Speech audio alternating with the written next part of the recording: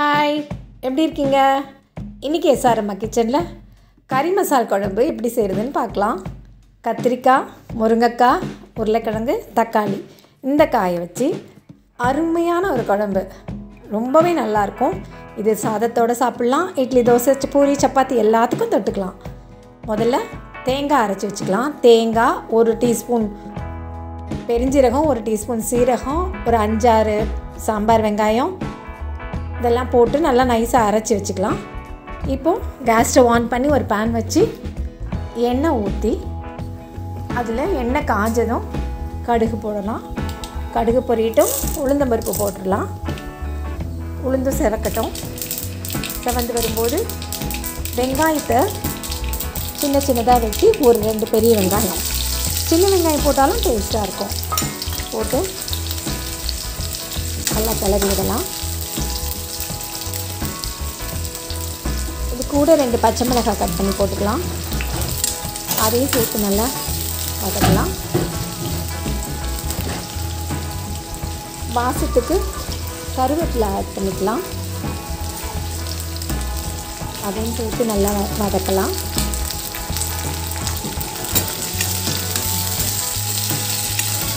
வெங்காயம் கொஞ்சம் நல்லா வதங்கிடணும்.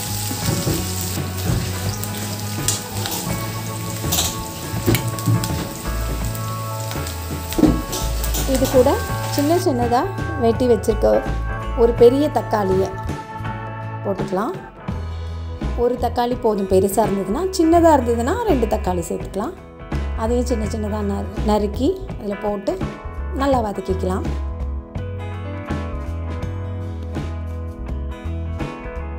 நல்லா தக்காளி நல்லா வதங்கிடட்டும் கத்திரிக்காய் முருங்கைக்காய் உருளைக்கிழங்கு இந்த மூணு காயையும் கட் பண்ணி தண்ணியில் போட்டு வச்சுருக்கேன். அதையும் இந்த டைம் சேர்த்துக்கலாம்.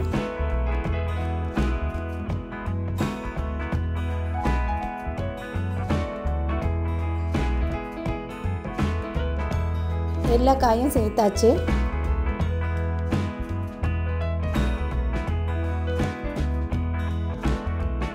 எல்லாத்தையும் சேர்த்து நல்லா கிளறி விடலாம். இந்த காயும் அந்த எண்ணெயிலே கொஞ்ச நேரம் வதங்கட்டும்.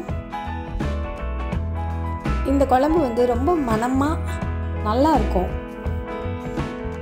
அதாவது நம்ம குருமா குழம்புன்னு வைக்கிறது வந்து பட்டை சாமான்லாம் போட்டு வைப்போம். இது அப்படி கிடையாது. பாருங்கள் மிளகாத்தூள் மல்லித்தூள் மஞ்சத்தூள். மிளகாத்தூள் ரெண்டு ஸ்பூன் மல்லித்தூள் ரெண்டு ஸ்பூன் ஒரு அரை டீஸ்பூன் மஞ்சத்தூள் சேர்த்து நல்லா கிளறிக்கலாம். இப்போ குருமா குழம்புன்னு நம்ம வச்சோம்னா அதில் இஞ்சி பூண்டு போடுவோம். அதுக்கப்புறம் பட்டை எல்லாம் போடுவோம். இது காய்கறி பூரா நாட்டு காய்கறி. அதில் அப்படி கிடையாது.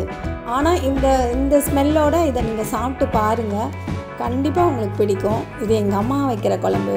அவங்க கை மனத்தில் ரொம்பவே நல்லாயிருக்கும்.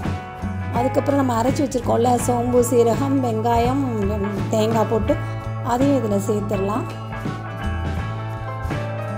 சேர்த்துட்டு தேவையான அளவு தண்ணி ஊற்றி வேக வைக்கலாம். நல்லா கிளறி விட்டுலாம். இது டிஃபனுக்கும் வச்சுக்கலாம். சாதத்தோடையும் சாப்பிட்லாம். ரொம்பவே நல்லாயிருக்கும். இது குக்கரில் வச்சா ஜஸ்ட் டூ மினிட்ஸ் தான். காயில் வதங்கினோடனே ஒரு சவுண்ட் போட்டு இறக்கிட்டாவே அப்படியே வந்துடும் வெந்துடும் இப்போ தேவையான அளவு உப்பு போட்டுடலாம்.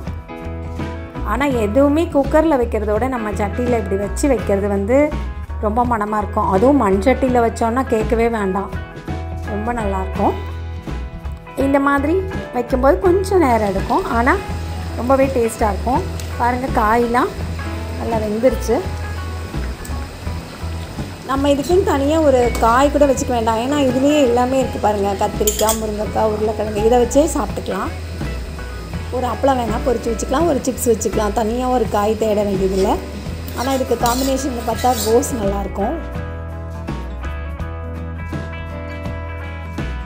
நல்ல குழம்பு கொதிச்சு நல்லா வந்துருச்சு. இப்போ பக்குவமாக வந்துருச்சு. எண்ணெய் பிரிஞ்சிருச்சு. இந்த டைமில் நம்ம கொத்தமல்லி தழை தூவி இறக்கிக்கலாம். நீங்களும் உங்கள் கிச்சனில் ட்ரை பண்ணுங்கள் ஒரு தடவை ட்ரை பண்ணிவிட்டு சொல்லுங்கள் இது எப்படி இருக்குன்னு. பிடிச்சிருந்ததுன்னா லைக் பண்ணுங்கள் கமெண்ட் பண்ணுங்கள் ஷேர் பண்ணுங்கள் இன்னும் எஸ்ஆர்எம்மா கிச்சனை சப்ஸ்கிரைப் பண்ணாதவங்க சப்ஸ்கிரைப் பண்ணிக்கோங்க.